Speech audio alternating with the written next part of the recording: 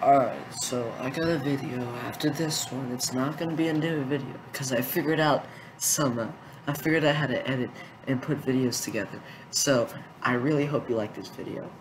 And uh, I'll, uh, uh, I'll enable the comments and see what you think about it. See if it got to you.